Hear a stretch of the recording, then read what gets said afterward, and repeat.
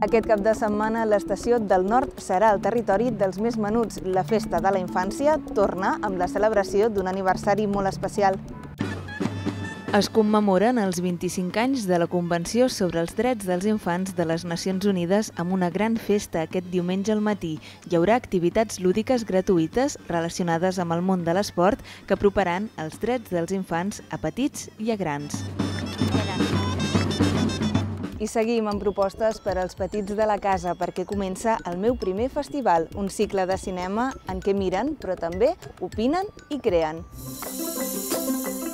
La setena edició engloba 90 pel·lícules de 17 països diferents. S'allarga fins al 30 de novembre i espera arribar als 13.000 espectadors. La mostra és per a nens d'entre 2 i 12 anys i poden participar en cinefòrums i fer col·lectivament una pel·lícula.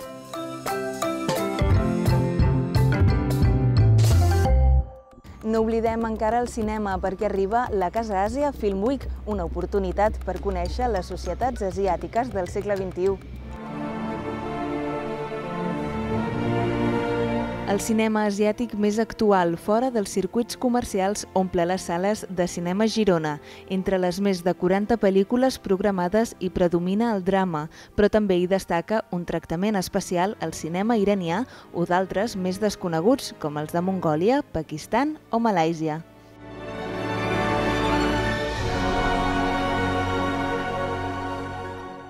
Lluís Omar s'ha proposat tot un repte interpretar tot sol Terra Baixa, quatre personatges de l'escenari, però només un actor al Teatre Borràs.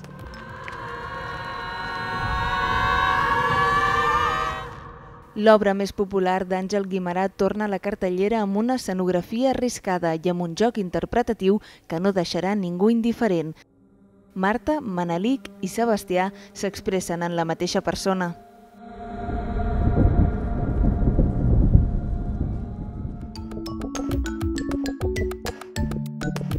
Tot i el fred, no hi ha excusa per quedar-se a casa. Gaudiu del cap de setmana.